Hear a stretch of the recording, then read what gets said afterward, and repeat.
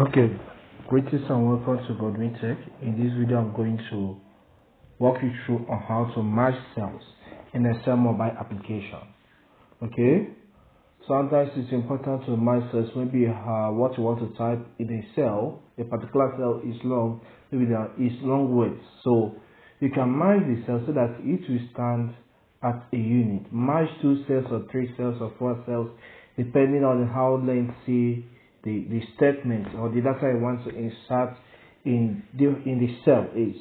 Okay, so let me stop explaining and get into practical on how you can do that. The first is to access the Excel app instead of the mobile app. I use the final search to get to Excel.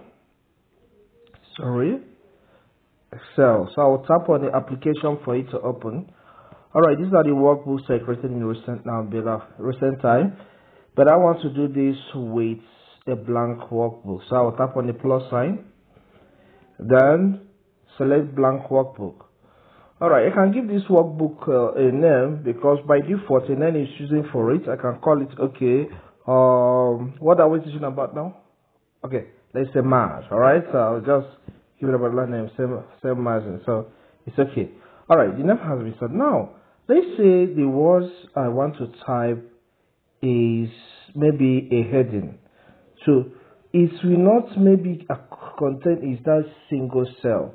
So I have to merge maybe cell A1, cell B1, and cell C1.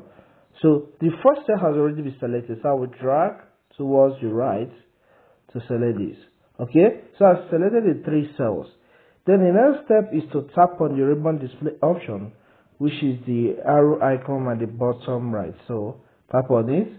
Then scroll down. Okay i'll scroll here to get to okay you can see this command merge and center. So tap on the merge and center. You can see these three cells now has now turned to one single cell. So i can now start typing what i want to have in it. Um, names of students names of students okay all right so let me just stop here. So maybe this is what i want to have. So when i type this you know that this is a heading and you don't need to maybe it, it didn't cut into another cell altogether because i merged the three cells that that created the space for me to have the rows i want to have in it.